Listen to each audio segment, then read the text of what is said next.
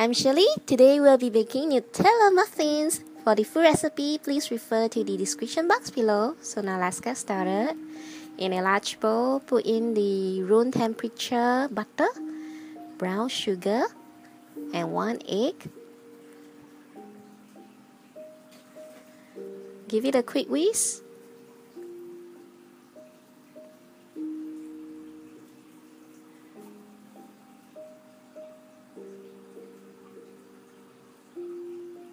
Add in the vanilla extract and milk. Another quick whisk.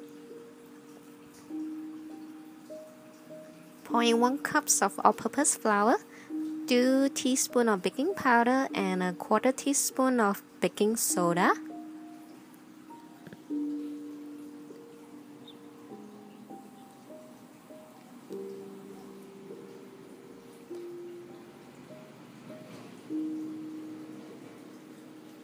Whisk everything and until well combined.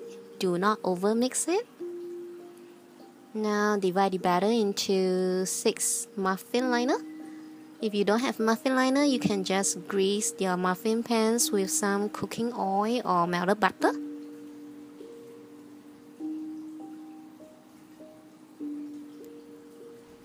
And top each batter with 1 tablespoon of Nutella.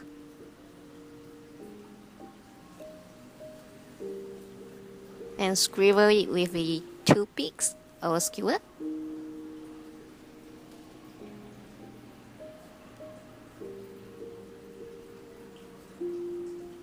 And pop this into the oven to bake at 190 degrees C or 375 degree F for about 20 to 25 minutes or until the toothpicks insert in the center of a muffin comes out clean.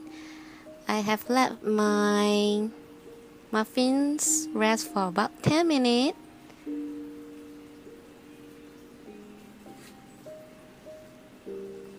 We can remove the muffin liner now.